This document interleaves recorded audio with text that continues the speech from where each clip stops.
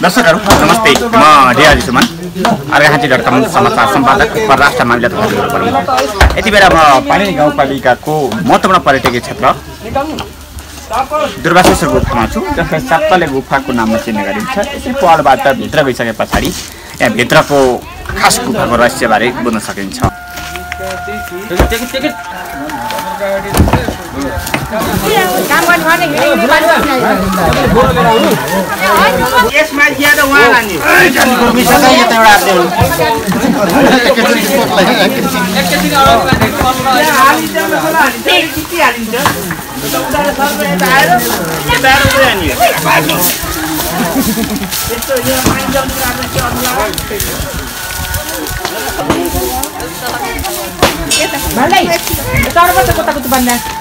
我在呢。哎，有点。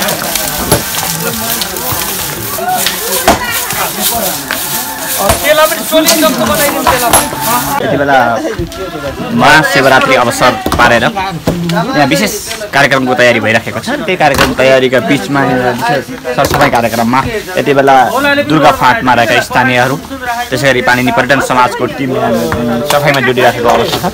र वास्तवमै पर्यटन प्रबन्धनका लागि कस्ता काम हुँदैछन् यस विषयमा म पर्यटन समाजका पदाधिकारीसँग एउटा विषय भइरहेको छ अहिले हामी विशेष गरी साङ्गीतिक कार्यक्रमभन्दा पनि भक्तजनहरूले लक्षित गरेर शिवरात्रि विशेष कार्यक्रम गर्ने तयारी। कस्तो छ योपालि गुफाको प्रचार प्रसारको गुफाभित्र रहेका सम्पूर्ण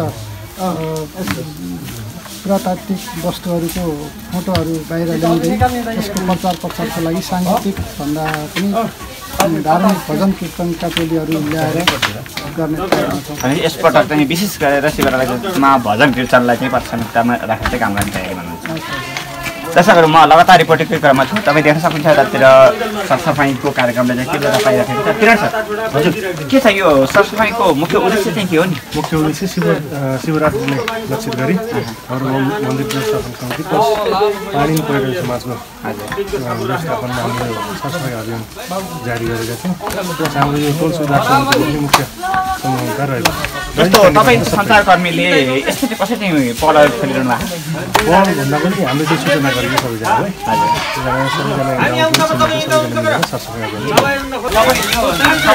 आउनु भएको छ खास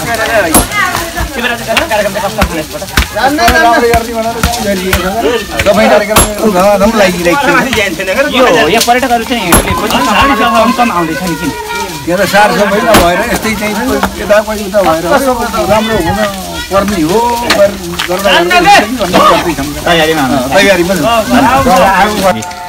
तपाईँ लामो समयदेखि यो मन्दिरको वरिपरि पनि काम गरिरहनु भएको छ कुनै समय तपाईँले चाहिँ फ्रीमै काम गर्नुभयो वास्तवमा यो आजको कार्यक्रम चाहिँ लक्षित कार्यक्रम चाहिँ कस्तो हो। शिवरात्रि कार्यक्रम के छ शिवरात्रिको कार्यक्रम यहाँ विस्तृत रूपमा भन्दाखेरि अहिले हाम्रो पूजाआजा लगायत हजुर अनि भजन कीर्तनको हामी प्रतिस्पर्धा कार्यक्रम गर्ने भन्नुभएको छ। यसमा अ, सबभन्दा सर्वप्रथम त हामीले यहाँ सरसफाइको आयोजना गरेको हजुर। मानिनी गाउँपालिकाको महत्त्वपूर्ण पर्यटकीय क्षेत्र दुर्वासेश्वर गुफा पछिल्लो समयमा ओजेलमा पर्दैछ। ओजेलमा पर्नुको कारण के हो त?